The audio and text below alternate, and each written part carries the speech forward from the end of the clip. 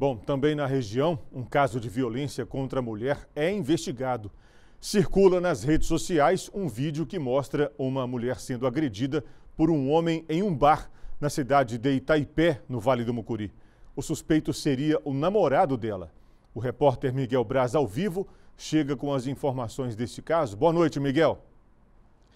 Ei, Saulo, boa noite para você e para quem está em casa acompanhando a gente pelo MG Record. Correto, olha só.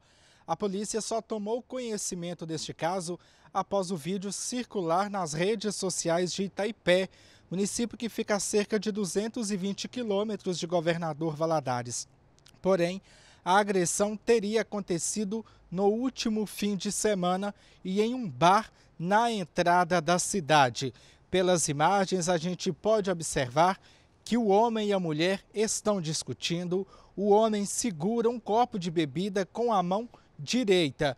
Em um determinado momento, ele dá um tapa na cara da mulher. A mulher cai próximo a uma cadeira.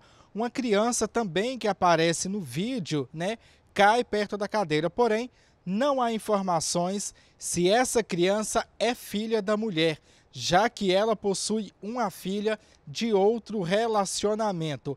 Portanto, a polícia está investigando este, este caso e as informações ainda apontam que o homem tem histórico de várias agressões contra as ex-companheiras na cidade. Portanto, a polícia né, está investigando este caso, já está com as imagens e este caso, né, como foi dito, aconteceu na cidade de Itaipé.